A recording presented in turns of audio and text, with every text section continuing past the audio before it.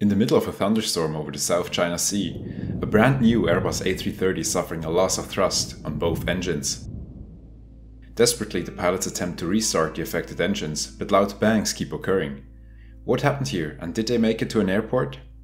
Find out with me today as we take a look at the case of Singapore 836. Welcome to Airspace.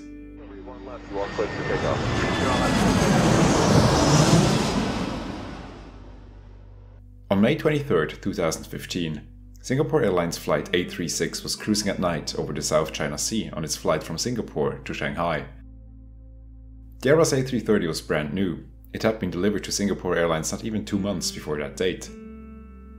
The weather got worse as the flight neared the area around Hong Kong, and the pilots saw need to divert around towering thunderstorms continuously. Eventually, they found themselves before a wall of weather that they found difficult to cross they could also not climb since they were already at the maximum altitude for their given weight.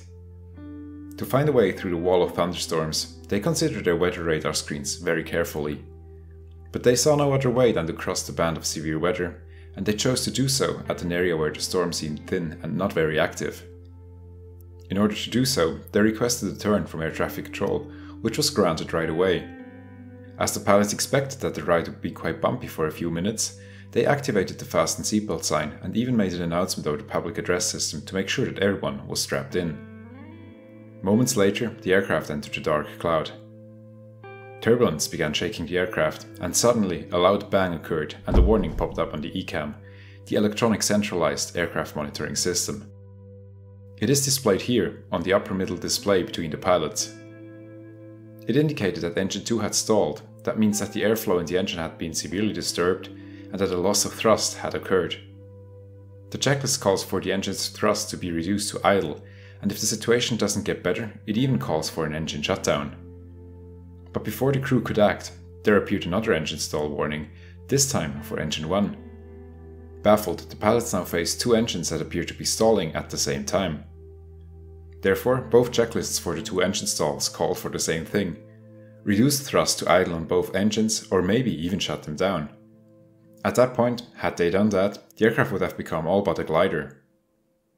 Since the checklist for the more recent engine stall, the one of engine number 1, was displayed at the very top of the checklist display, and since the engine parameters of engine 2 seemed to stabilize, the crew decided to reduce thrust to idle on only engine number 1. But the warning did not disappear, and for that reason, the crew concluded that the engine needed to be shut down. They did so, and since the A330 cannot stay at cruise level on only one engine, they descended the aircraft to 26,000 feet. The pilots now evaluated whether they should divert to Hong Kong or Guangzhou, which were nearby, but such a diversion would have necessitated another flight through thunderstorms, which the pilots sought to avoid. Therefore, they decided to continue to Shanghai, as there were two more airports, more or less exactly along that route, that would have made for excellent alternate airports. As the workload started to diminish after all checklists were complete and decisions were made, the crew decided to call their operations and maintenance department and told their story over the satellite phone. The maintenance department receives detailed engine parameters from the aircraft that are in some areas more meaningful than the cockpit displays. Together with the pilots, they concluded to attempt to restart the engine. That endeavor was successful, and the flight was able to continue on to Shanghai normally. The crew even cancelled their emergency status that they had declared earlier and landed safely in Shanghai. There, the aircraft's engines were thoroughly inspected with a borescope, but no damage was found. High thrust engine runs were performed on ground without any problems, and the aircraft was released to service. It made an uneventful return flight to Singapore, where another engine test was performed without any findings. At this point, Singapore Airlines could have returned the aircraft to service without any further actions, but the airline decided it wanted to know what had caused the eerie incident. Additionally, it created a new policy that dictated that newly delivered aircraft should not have two brand new engines. Instead, they decided that one of the new engines shall be removed and replaced by another older, well adjusted engine. After the mechanics had removed one of the new engines, it was sent to a shop to be disassembled and thoroughly inspected. And sure enough, traces of a light grey substance were found on several compressor blades of the jet engine. To understand the following section, let's briefly review how a jet engine works. Air is sucked in at the intake and compressed in two stages the intermediate pressure compressor and the high pressure compressor. Air is compressed radially, that means by turning fan blades instead of compressing it in a cylinder like in a car. The highly compressed air is then routed to the burn chamber, where it is mixed with jet fuel and ignited. The hot gases then expand quickly through the turbine, which then drives the compressor to complete the cycle. The grey powder residue was found on blades here, at the intermediate pressure compressor stage. It was identified as material from the adjacent rubbing strips. You see, in order to maximize the compressor effectivity, clearance between these fan blades and the outer casing must be as minimal as possible. If the clearance is too large, air can flow backwards towards the engine intake, which would reduce the engine's efficiency.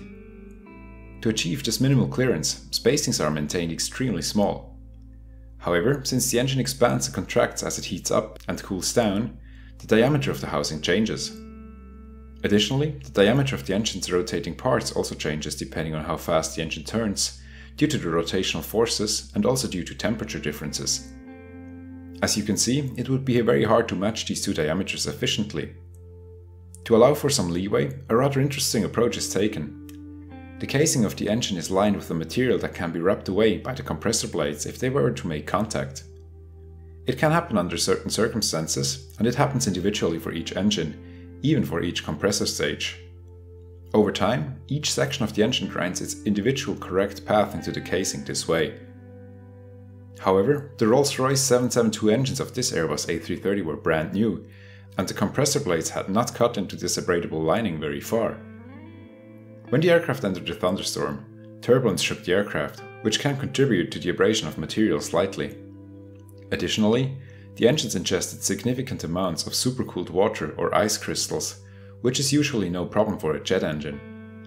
However, in this case, it cooled the casing down, leading to a contraction of the material. Therefore, it came in contact with the compressor blades and a lot of material was ground up and sent downstream.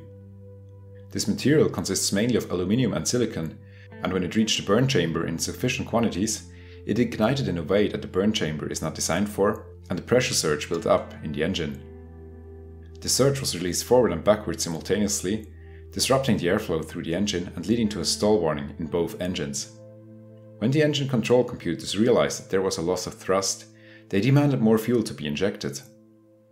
After the pressure surge was over, after a short moment, thrust increased again due to the added fuel, leading to a fast rotation of the engine.